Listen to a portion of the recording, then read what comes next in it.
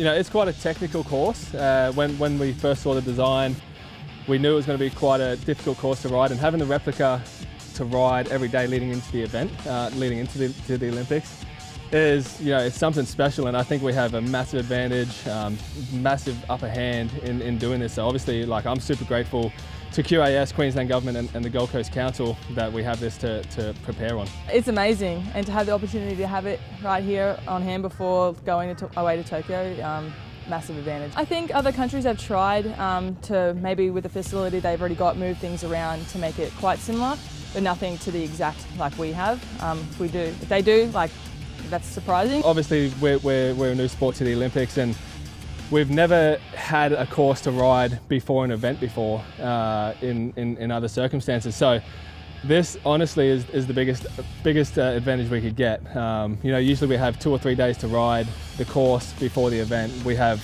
you know, I've had five weeks. I'm going to have five weeks in total to, to ride this event, prepare and, and go and, you know, execute in, in Tokyo. So it's, uh, it's, a, it's a massive upper hand.